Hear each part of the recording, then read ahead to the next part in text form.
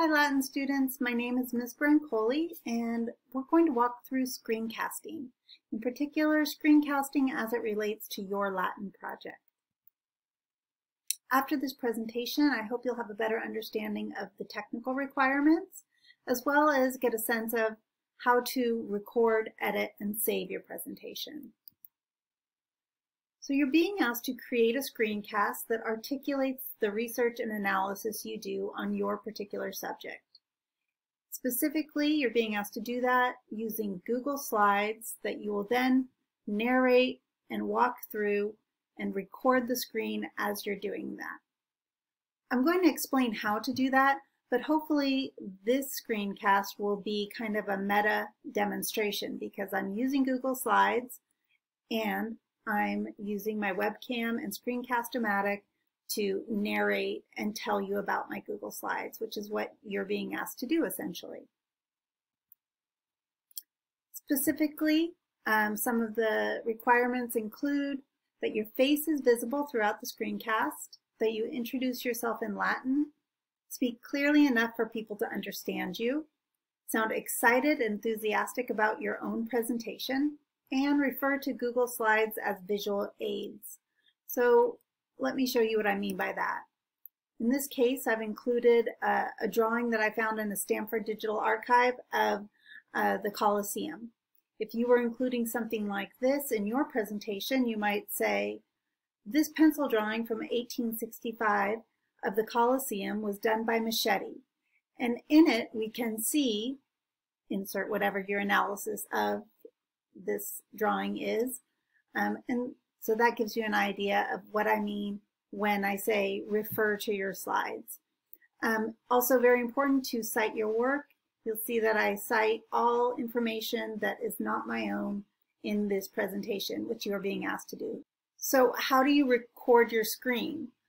I'm using Screencast-O-Matic. It's a really simple and easy to use app. This video gives you a two minute overview of what it is and how to use it.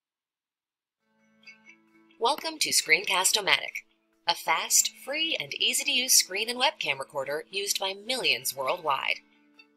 Let's get started. Click here to start recording and then launch the recorder. If it's your first time, you will be prompted to download and install the software. Once installed, it's just one click to launch. You can record the screen, webcam, or both. I'm using both. You can record as many videos as you want, up to 15 minutes long.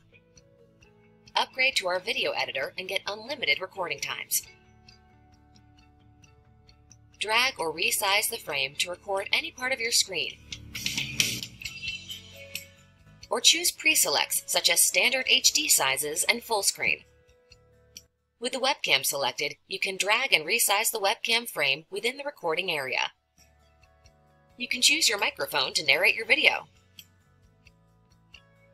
Now hit record and all the action inside the frame will be captured. Pause, resume, preview, or restart any of your recordings. Click Done and easily trim the start and end of your video.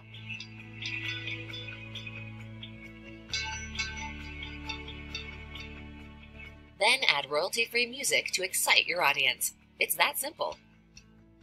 You can save your video file to your desktop host it on screencast-o-matic.com or publish directly to YouTube. When you upgrade, you get more uploading options. After your video is uploaded, get a link to copy or use quick share buttons to easily share to Facebook and Twitter. For those who want more out of Screencast-O-Matic, Video Editor gives access to tools that allow you to zoom, add text and images, animate overlays, blur sections, and much more. Join in on the fun. Create, share, and experience video with Screencast-O-Matic. That's just a brief overview of what you can do with Screencast-O-Matic. Notice I included a citation because I did not make that video myself. Okay, you have an idea of what you're supposed to do, the requirements, the tools, but you may feel overwhelmed and not know where to begin. Here's kind of a step-by-step -step that I used when I created this presentation. I did all of my research, put it all together, analyzed it, and then I made my Google slide presentation first. After that, I wrote a script for each slide, and then I practiced and practiced and practiced, uh, walking through the slides, doing my narration, and finally I started recording it using the screen recording app with the Facecam option on. Um, and it takes it took me several times to actually get to this final recording. Um, and the more you do it the better it usually gets. Then you can edit as needed and save your file. If you need help or have questions don't hesitate to email Ms. Wenger or myself at si underscore librarians at siprep.org or live chat with us from any SI library webpage Monday through Friday, 8 a.m. to 4 p.m. And finally, here is my Works Cited page. If you have questions about how to format it and how to create it, you can um, check out our other videos on Works Cited page on our YouTube channel. Thanks for watching.